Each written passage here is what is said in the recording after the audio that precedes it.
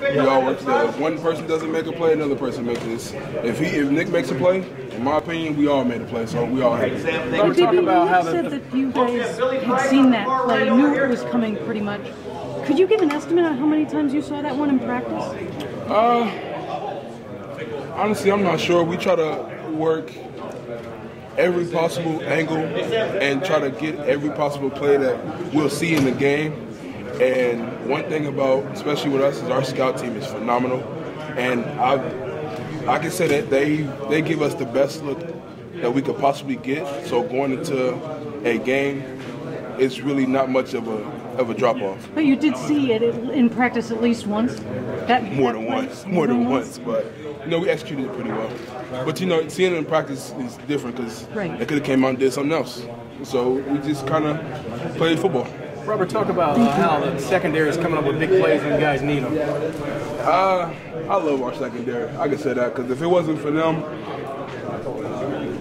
up front for the D line, it wouldn't flow as good as it does. And you know they'll probably say if it wasn't for us, it wouldn't flow as you know as good as it does for them. But I can say they take a lot of uh, pressure off of our shoulders, and they allow us to make more plays. You know, if, if you have an offensive team who can't put the ball in the air, now they have to put it on the you know run it on the ground. But you have a defense who is a run stopping defense. You know what can you do? So we feed off of each other as far as making plays and you know coming together as, as one. What's the, he's amazing, isn't he? Run, running balls back for touchdowns. All I got to say is, wow, that man is special. That's my boy, but he's a freak athlete. What's the feeling like when y'all get a turnover taken away from you, like that Jalen forced fumble that they they ended up saying was Indiana's ball, and then you have to go out there and make a goal line stand? Uh, there's really not much you can do about it, you know. You just kind of roll with the punches. Every game you're going to be faced with some type of adversity, and it's really up to you and the defense on how you handle it. You can sit up and you know complain about it, or you can put your hand in the dirt and go another play.